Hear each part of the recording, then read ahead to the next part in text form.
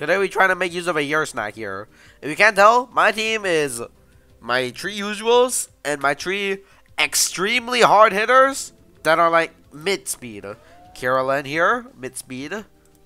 Deladrix, mid speed. Well, I guess good speed. Kazmaier, pretty solid speed. But not good enough, so well, I have Ursnac here to support them. Now, unfortunately, they have a Gargolem, so let's hope Carolyn doesn't miss crap. And the rest of the team, I think, is going to look a little bit like this. Yeah, something like this. Phase Knot, they have three Earth types, and one of them is dummy range bulky. And like I said, one of them's dummy range bulky, so I don't really want to bring my idiosyncratic Kazmaier. Am I right? Am I right? What's this? It is the Garlash. I know that frame. I know that angle if I ever seen it. Well, Primal Slash is uh, probably. Oh, I forgot to change the move set. I forgot this move set is crappy as heck. Whoop. Who made this? I, uh, what do I do about you?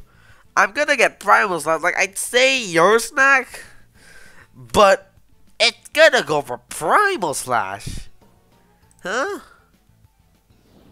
So I guess we just try going Ursnac. Try. Yeah, there's the Primal Slash. Okay. Someone's screaming how to get Mutagun.